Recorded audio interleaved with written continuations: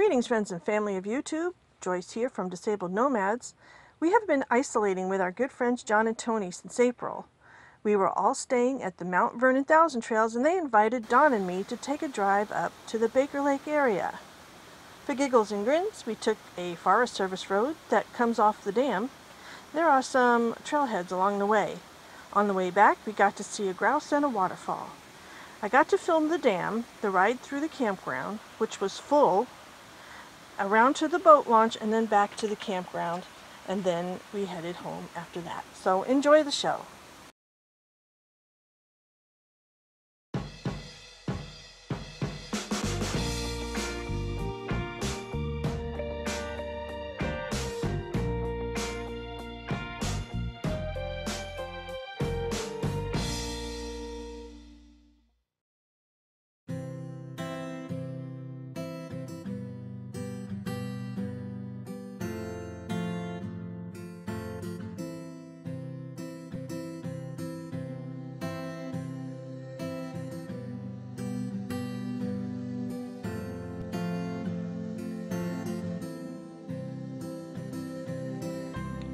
Upper Baker Dam is a dam spanning the Baker River in northern Washington in the United States.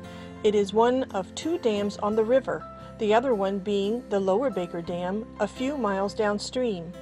The dam is used to generate hydroelectricity and provide flood control.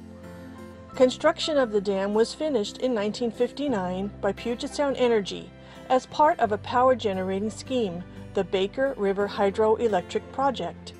The dam is a concrete gravity structure 312 feet high and 1,200 feet long.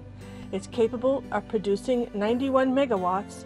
Its reservoir stretches 9 miles upstream and contains 285,000 acre feet of water.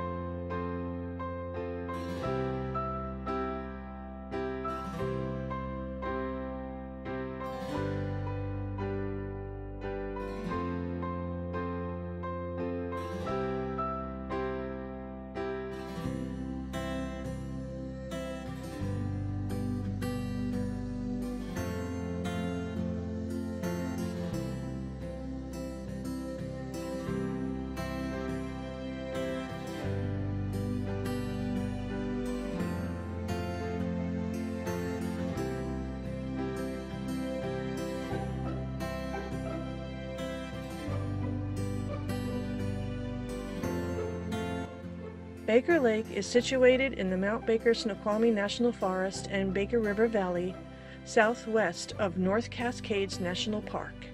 It is fed by the Baker River along with numerous smaller tributaries.